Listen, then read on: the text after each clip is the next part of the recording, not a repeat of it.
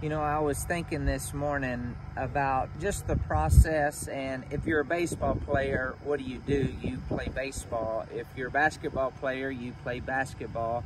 If you're a roper, you rope. If you're a preacher, you preach.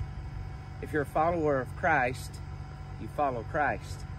Well, how do you follow Christ? Well, Jesus said when we seek Him first, Him and His way of doing things, everything else will be added unto us. Think about what does it look like to follow Christ. See, he can't make or develop us into who we're called and created to be unless we're willing to follow. That means more than just going to heaven. It means the daily process of surrendering to his will, aligning our mind and our heart and our words up with his, his way of doing things. You're a follower of Christ, so follow Christ and let's let him develop us into the champions we're called and created to be. Keep growing, keep going. Talk to you soon.